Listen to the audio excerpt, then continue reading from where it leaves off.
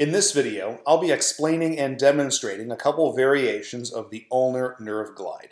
You should consider giving ulnar nerve glides to any patients with any of the following presentations. Number one, adverse neurodynamics of the ulnar nerve. Now, adverse neurodynamics is a very general umbrella term. It doesn't really have a whole lot of meaning. However, in general, if somebody has a positive ulnar nerve tension test, you would probably give them an ulnar nerve glide. Also, patients with post-concussion syndrome, so those following a mild traumatic brain injury. Oftentimes, after that injury, they develop adverse neurodynamics of all three of the major upper extremity nerves, median, ulnar, and radial nerves. Patients with numbness or paresthesias in the ulnar nerve distribution of the hand, and also those with peripheral ulnar nerve entrapment. Conditions where you might see that would be cubital tunnel syndrome and also Guyon's canal entrapment also patients with cervical radiculopathies, and those with thoracic outlet syndrome. Now to perform the ulnar nerve glide, the patient will be positioned in sitting or standing, and if you're the patient, you're going to make an OK sign with your hand such that your palm and palmar side of your forearm are facing away from you. There's the OK, turn my hand away, and now notice my palm and palmar side of the forearm are facing away from me, over to this wall over here. Now to get to the starting position, position one, I'm going to tilt my head towards my hand and bend my elbow such that my middle finger touches the side of my head. That'll look like this.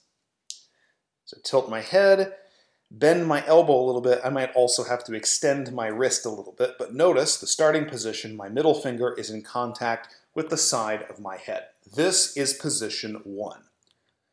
Now from here, you're going to straighten your elbow such that your middle finger moves away from your head at the same time that you tilt your head away from your hand. Okay, that'll look like this. That is position two. My head is tilted away from my hand and I've extended my elbow now to take my hand way over here. Notice also I'm still trying to maintain a little bit of wrist extension there.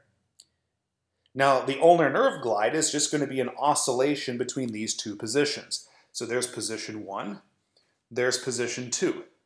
Position one, position two. And you're going to hold in each position maybe about one to two seconds and perform about 15 total repetitions per set.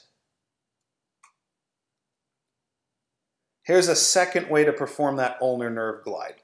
You'll start off the same way, make the OK sign, rotate your arm away, and my palm and palmar side of my forearm are still facing away from me towards this wall. However, in this case, I'm actually going to have the elbow extended, okay? And I also get a little bit of that wrist extension right here. And I'm still going to tilt my head toward my hand. This is position one. Now, in this form of the ulnar nerve glide, the movement's not going to be at the elbow, it's going to be at the wrist. So I'm going to have coordinated movement with my wrist and my head. So let's go to position two. I'm going to flex my wrist and tilt my head away from my hand. This is position two. No movement is occurring at the elbow. And again, I'm going to oscillate between these two positions. Again, hold about one to two seconds in each position, and it's about 15 total repetitions per set. Now, this might be a little bit too intense for some people, so what you can always do is you can lower the arm into a little bit less abduction. This takes a little bit of the tension away, and you can still glide in this position. And again, always follow this test, treat, retest model.